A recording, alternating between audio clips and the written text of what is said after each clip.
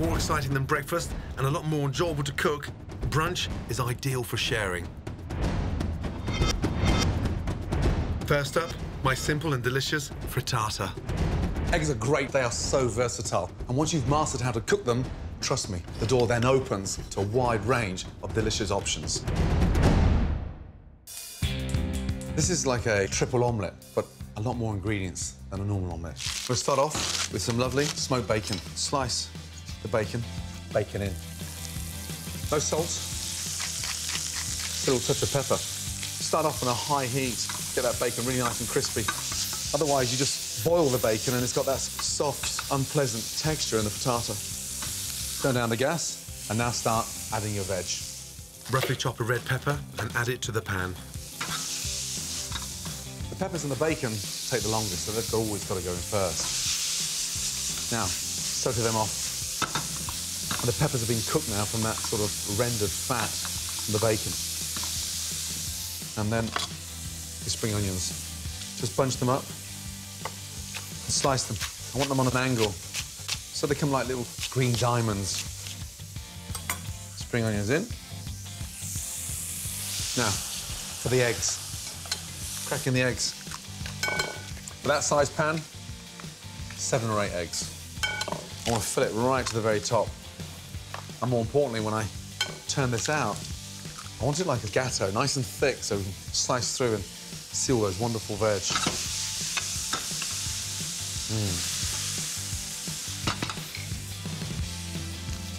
I'm going to season the eggs with some Parmesan cheese. Be quite generous because it adds a really nice saltiness. Fresh ground pepper and then whisk. Whisk up those eggs nicely. Then add peas to the pan.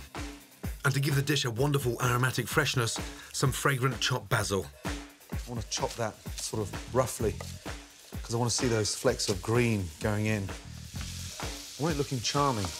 And how many times have you seen a, a dull omelette? Frittatas, in my mind, really help encapsulate the magic of having savoury eggs, cooked beautifully, but with texture. Now, just before we add the eggs, I've got this beautiful little goat's cheese, and it's strong and powerful. So I want to slice it into little chunks and then just have it dotted around. I want to discover these little pockets of creamy goat's cheese. Now, slowly add the eggs. Fill that right up. And get your spoon. Now just let all that egg go down to the bottom. Bring it back up to the boil and sort of clean around the sides. And then some of this delicious, salty, creamy goat's cheese over the top. Now, I want it melting like a, a perfect slice of cheese on toast. Nice. Now, from there, turn the grill on for four to five minutes.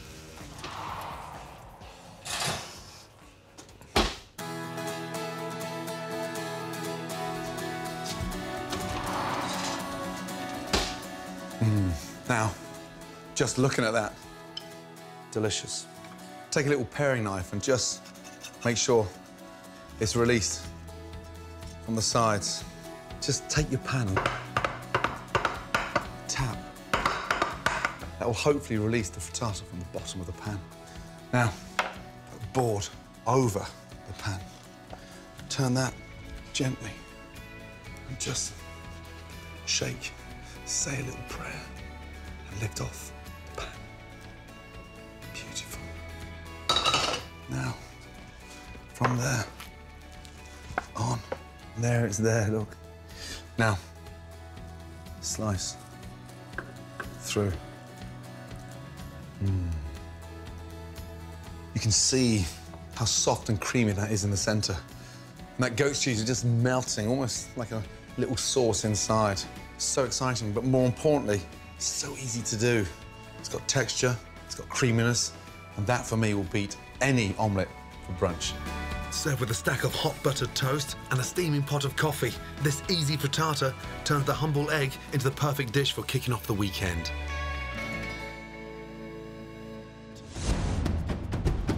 Soft, fiery, and irresistible. Spicy pancakes. One of the secrets to good cooking is learning to use your imagination. When it comes to brunches, you don't have to stick to the old standbys.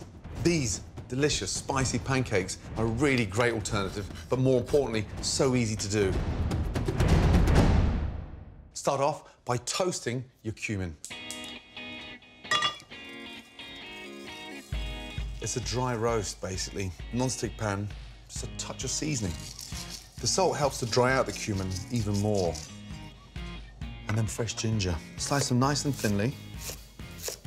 Stack it back up, and then just slice nice little thin slices in there. And then keep that bunched up. Shake the chili. Removing the seeds will prevent things getting too hot. Now, garlic. Nice. Now, Add olive oil to your toasted cumin seeds and in with the garlic, ginger, and chili. Lovely. And it feels strange when you talk about garlic for breakfast, but the time I spent in India, everybody was eating something savoury for breakfast. It was extraordinary. Into your bowl. and set aside. Next, the pancake filling. Add olive oil to a hot pan. Mustard seeds in. Now they'll start dancing the minute they hit the pan. Mm. Then finely slice an onion, Onions in.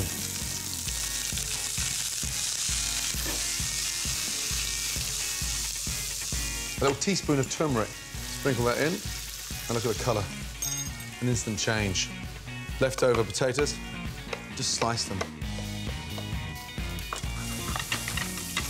smell is incredible. Potatoes in now. Spread the potatoes across the pan. I want the potatoes stained. I want them sort of absorbing all that really nice turmeric, acting like a sponge.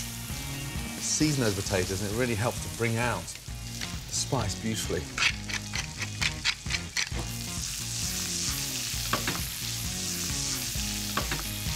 They're ready. Turn off the gas and let them sit there and absorb all those flavours. back to the pancake batter. Add plain flour to your cooled garlic, chili, ginger, and cumin seeds.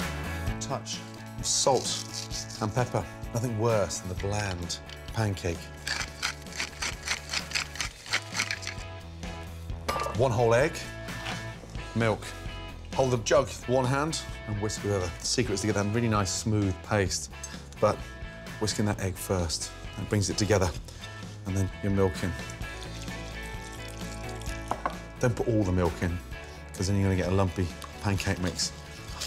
And if you put less milk in, it really helps it not going lumpy. Look at that. Milk in. And the secret for me is to have a nice thin mix. Now, just a little teaspoon of oil. That helps to bring a nice crispy edge to the mixture. Now, just taste. Mm. That's the texture. Pan on. The larger the pan, the better. It helps to create a nice, thin, even surface. I want that mix going all the way around the pan. Before you put the mixture into the pan, make sure you give your pancake mix a really nice stir. Pan is nice and hot. Turn down the gas. A touch of olive oil in. Get that nice. Whisk with one hand. Pan to the mix. In. One and a half ladles, and then roll it round. So it's really nice and thin. I want to see the ginger, the garlic. That's what I'm looking for. In there. Now back onto the heat. It only starts to remove from the bottom of the pan and lifts itself up once it's cooked. These little bubbles confirm that it's just starting to lift off the pan. A little shake, that releases it. And then just shake it to the end and toss. If you haven't got the confidence of tossing, then use a spatula and turn it over. Now, that's exactly what I want, that nice sort of crisp edge around the side. The colour on the pancake is so important. Now, roll it round and just let it slide out beautifully. Mm. Now, for the exciting part, filling them. Take your potatoes, just sort of have a really nice imaginary line. And then just very carefully roll that nice and tightly. Tuck it underneath there, pull it back and roll. Beautiful. The delicious pancakes are ready to eat, but with a simple dipping sauce, they'll be a real treat. Just mix chopped coriander with natural yogurt. That's really nice cooling agent. Sit that on the side. And that, for me, is a, a great brunch. Delicious, spicy pancakes. Amazing.